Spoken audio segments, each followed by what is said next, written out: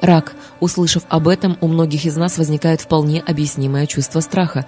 Сегодня человек больше всего боится столкнуться с этим заболеванием в своей жизни. И эти страхи вполне обоснованы, ведь онкопатология – вторая по частоте причина смерти после сердечно-сосудистых заболеваний. От онкологии в мире ежегодно умирают от 10 до 14 миллионов человек.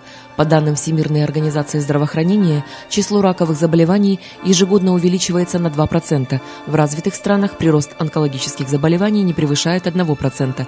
Такой результат достигнут благодаря осуществлению национальных программ по борьбе с раком. В развивающихся странах статистика неутешительна.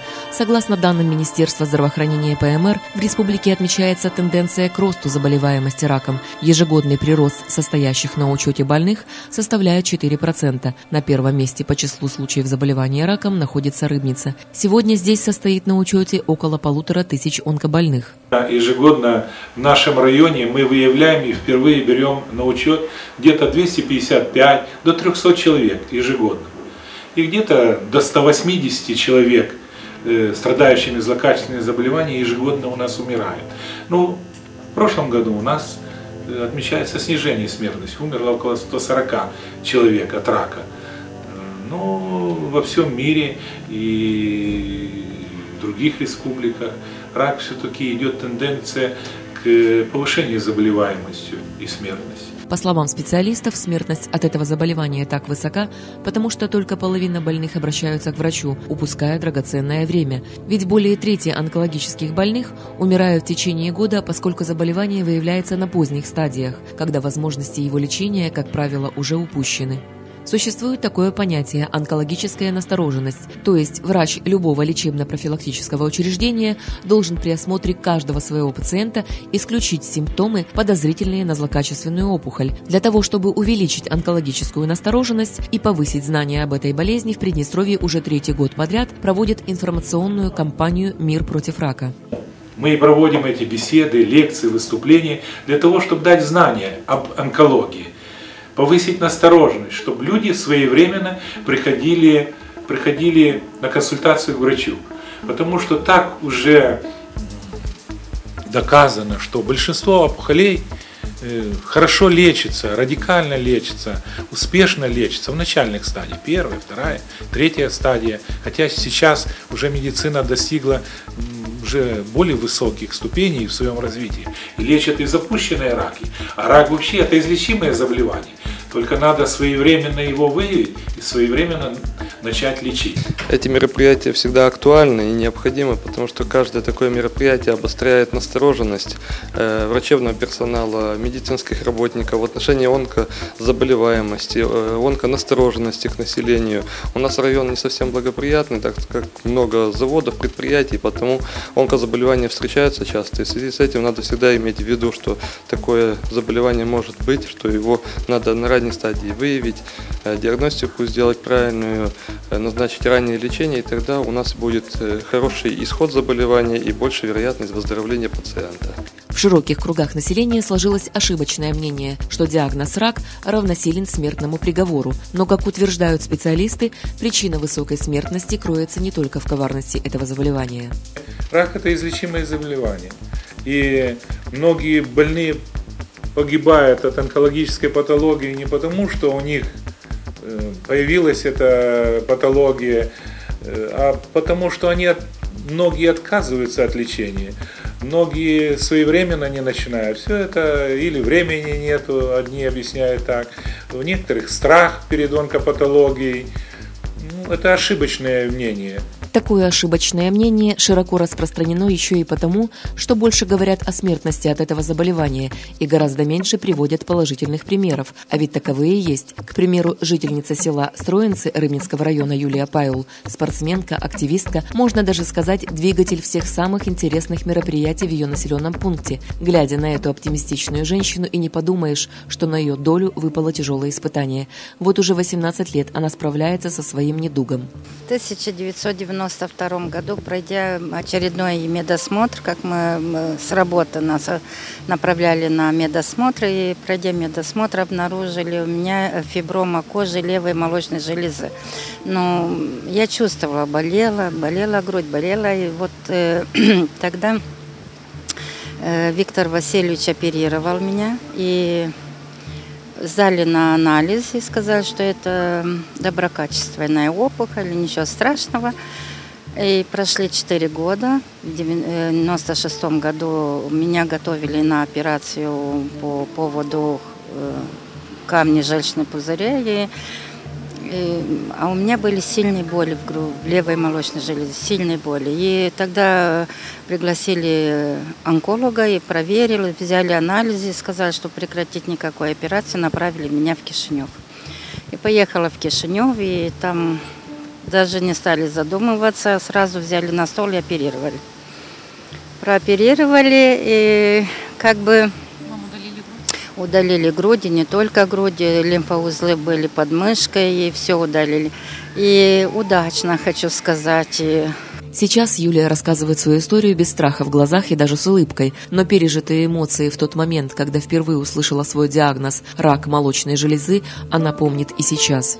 У меня руки, вот опустились руки, я стала внимательно э, посмотреть в глаза врача, как сейчас помню, а у него большие глаза – так я на него посмотрела, а он говорит, у тебя есть физическое развитие, ты преодолеешь все. Преодолеть в борьбе с этим заболеванием женщине пришлось немало. Кроме операций, более 30 курсов химиотерапии и 4 курса лучевой терапии. В самый тяжелый период жизни ей больше всего помогла поддержка близких. Больше всего э, поддержал, конечно, муж. У меня был два сына.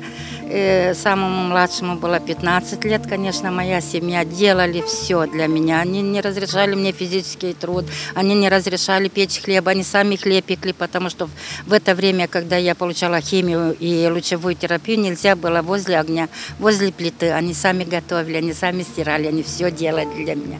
И потом женсовет города Рыбниц очень мне поддерживал и помогал, очень и приезжали ко мне, и оказывали материальную помощь, и продуктами питания, и всячески вот вечера организовывали, какие-то концерты, даже в больнице приходили, справляли мой день рождения возле в палате, и, в общем, мир хороший, добрый, и мы должны делать его добрее.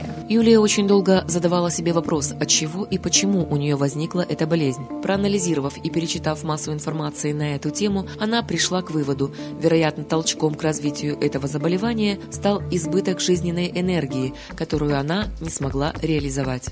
Я расскажу про себя.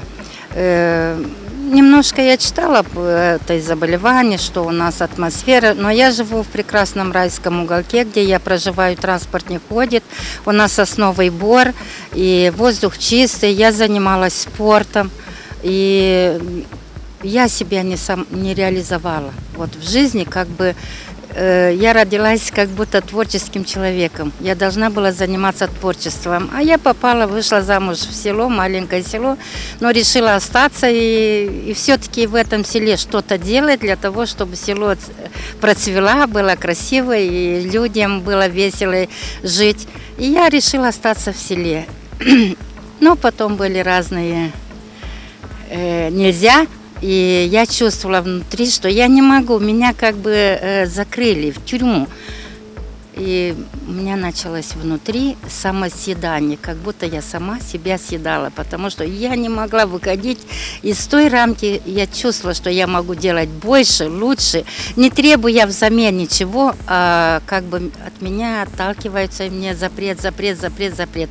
И это дало мне толчок на такой болезни. Это я по себе чувствую.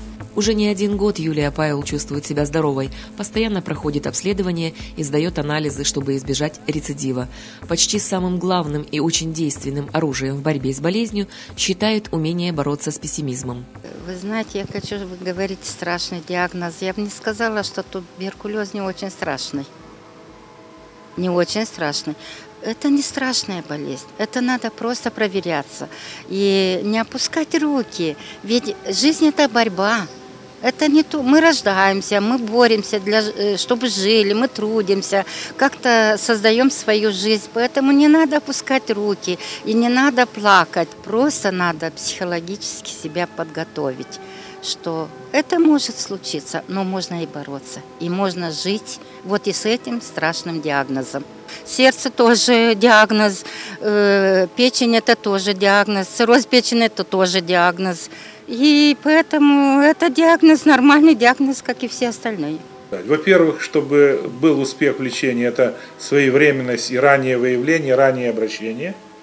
И кроме того, человек должен хотеть лечиться, выполнять все, быть законопослушным, беречь свое здоровье и думать о своем здоровье. Он должен принимать э, все рекомендации врача, вовремя приходить на обследование и лечение. Э, и тогда успех есть. Кроме того, болезни любят слабых людей. Обычно многие заболевания, многие заболевания одним из провоцирующих факторов э, возникновения онкопатологии является психоэмоциональное состояние больного. От того, какие эмоции будут у человека. Если эти эмоции часто положительные, хорошие, веселые, добрые, то такие люди реже болеют. И если у них отрицательные эмоции, постоянные стрессы, страхи, э, ну, нехороший не эмоциональный фон, то и болезнь э, прогрессирует и развивается у таких э, больных чаще, чем у других. Онкология – одна из областей медицины, которая до сих пор до конца не изучена. Загадкой остаются механизмы возникновения раковых опухолей. Врачи прикладывают все силы для поиска причин бессимптомного течения ранних стадий болезни, разрабатывают новые методики лечения. Усилия ученых всего мира не напрасны. За последние десятилетия в борьбе с этим недугом удалось добиться значительного прогресса. Например, уже известны причины возникновения рака шейки матки. Это одна из очень распространенных онкопатологий у женщин. Это единственный из известных раков, у которого известна причина возникновения, то есть это вирус папилломы человека, обнаруживающийся у 90-100% женщин, заболевших раком шейки матки. И это можно выявить. Да? Есть методы исследования для выявления этого вируса. Это один момент. И второй, то, что рак шейки матки является визуальной формой, то есть э, является тем органом шейка матки, который можно увидеть при обычном осмотре профилактическом. То есть э, есть все предпосылки к раннему выявлению э, этой формы рака. В настоящее время для защиты от рака шейки матки существуют две вакцины. Прививки предназначены для девочек, подростков от 9 до 17 лет и молодых женщин от 18 до 26 лет, не инфицированных вирусом. Ну, прививка это применяется не так давно, да, как бы отдаленных результатов пока еще не видели, хотя за границей в Англии она включена в календарь прививок. То есть уже вот так же, как у нас против дифтерии, против кори, точно так же там включена эта прививка календарь прививок. Кому ее можно делать? Девочкам, не живущим половой жизнью до 21 года, либо женщинам, живущим половой жизнью в течение не более одного года. Еще можно делать эту прививку. Она делается по определенной схеме трижды.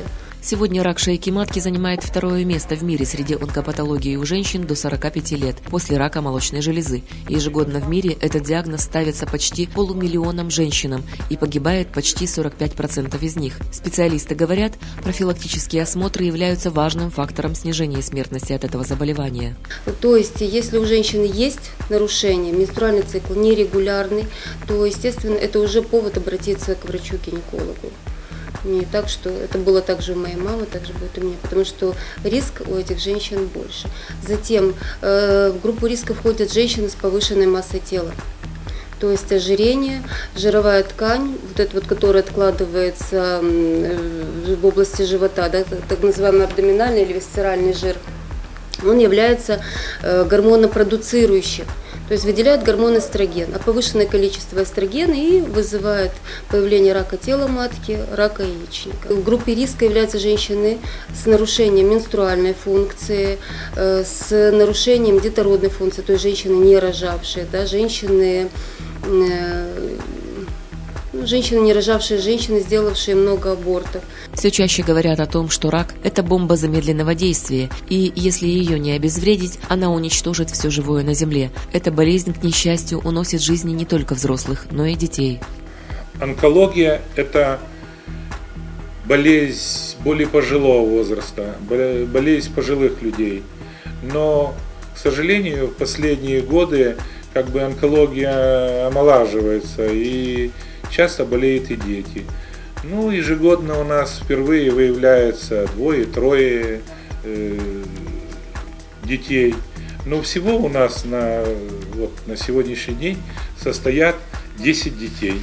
Приднестровье живут около 70 детей, больных этим недугом, но эксперты говорят, что точной статистики не существует. В современном мире детская онкология лечится. На исход болезни сильное влияние оказывает не только доступность качественной современной диагностики, но и своевременность лечения. Операция онкологических заболеваний очень дорогостоящая, и поэтому в развивающихся странах 80% всех онкобольных детей умирают от нехватки денежных средств. Часто родители, отчаявшись, обращаются за помощью к общественности, чтобы не упускать упускать драгоценного времени. Акции и различные благотворительные мероприятия организовываются для сбора средств нуждающимся детям. Так, совсем недавно для маленького рыбничанина Вити Петрашко провели фотовыставку с этой целью. Фотовыставка «Рыбничане» приурочена к э, помощи больного ребенка, которому требуется дорогостоящая операция. Мальчик маленький, 4 года, и ему надо срочно помочь. Остается всего лишь месяц. И поэтому мы решили провести такую фотовыставку. Мы решили помочь мальчику таким способом. Благотворительная фотовыставка. Благотворительность – это хорошо. У нас есть возможность поучаствовать в судьбе этого мальчика, помочь, э, приблизить его выздоровление. Глядя на этого озорного и подвижного мальчишку, сложно предположить, что он серьезно болен. Весь прошлый год ребенок провел в больнице. Хочу, чтобы были здоровы все.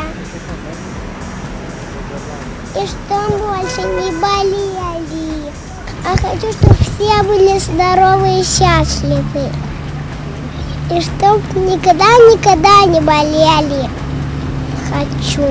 В свои четыре года маленький рыбничанин пережил уже много недетских испытаний. В прошлом году ему был поставлен диагноз – нефробластома, рак почки. Мальчику была проведена операция. Вместе с опухолью удалили левую почку. Он уже перенес 8 химиотерапий. Даже удивляются врачи. После каждой химиотерапии он говорит добрые слова всем, не, не злится, говорит, я вылечусь, я выздоровлю.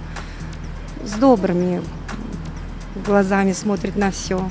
Хотя очень больной ребенок. Одной почки нету у него, и сейчас улучшение пошло на второй почке. До полного выздоровления Вите необходима еще одна дорогостоящая операция, которую согласны провести в онкоцентре имени Блохина в России. Простые рыбничане откликнулись. Сегодня, благодаря их помощи, мальчик проходит обследование в Москве. Несмотря на то, что к настоящему времени накоплены обширные знания о причинах развития рака, принимаются все возможные меры по его профилактике. И с каждым днем совершенствуются методы лечения этого заболевания. В народе по-прежнему широко распространены различные ложные мифы и заблуждения, касающиеся онкологических заболеваний и всего, что с ними связано. Одним из распространенных мифов это то, что онкология неизлечима. Поставленный диагноз – это приговор. Я не согласна с этим, потому что результат эм, излеч... излеченности будет зависеть от того, насколько вовремя человек обратился и насколько вовремя диагностировано заболевание. При первой, второй стадии, в принципе, э, частота излечения достигает 80-90%. Это очень большой процент. У нас очень много женщин стоят на учете уже годами, больше 20 лет с раками. И это, поэтому я считаю, что это не приговор. Главное не бояться и вовремя обратиться. Этому мифу не один десяток лет, и если в середине прошлого столетия он мог быть оправдан, то сегодня данное утверждение не более чем вымысел. За счет бурного развития современных методов диагностики онкологические заболевания сейчас легко определяются на начальных стадиях, лечатся, и с таким диагнозом большинство заболевших живут долгие годы. Вот, например, отчет за 2013 год. Злокачественные заболевания. Всего выявлено и взято на учет онкологам – 239 онкобольных со злокачественными заболеваниями. Из них с начальными стадиями первой и второй стадии 122 больных, с третьей стадии 68 больных и с четвертой стадии 49 больных. Состоят под наблюдением на конец отчетного года 1393 больных. А вот вылеченных больных, которые состоят у нас на учете 5 лет, прожили после лечения 5 лет и больше, составляет 500 человек. Любая болезнь приходит неожиданно, а диагноз онкопатология в психологическом плане у многих вызывает страх. Тем не менее, во многих случаях существуют эффективные методы лечения и профилактики осложнений. Сегодня рак удается лечить, и продолжительность жизни онкологических больных существенно увеличилась. Вне всяких сомнений, рак является тяжелейшим заболеванием, и поэтому важно знать о нем как можно больше, чтобы не только вовремя выявить эту патологию, но и суметь предупредить ее. По данным Всемирной организации здравоохранения, здоровье людей на 50% зависит от образа жизни и питания, на 40% от состояния окружающей среды и лишь на 10% от уровня здравоохранения. Здоровый образ жизни в контексте этих данных далеко не пустой звук или новомодное увлечение, а реальный способ избежать большого количества проблем со здоровьем, в том числе и онкологических заболеваний. Наталья Елисеева, Ирина Шлаева, Олег Слободенюк, Лик ТВ.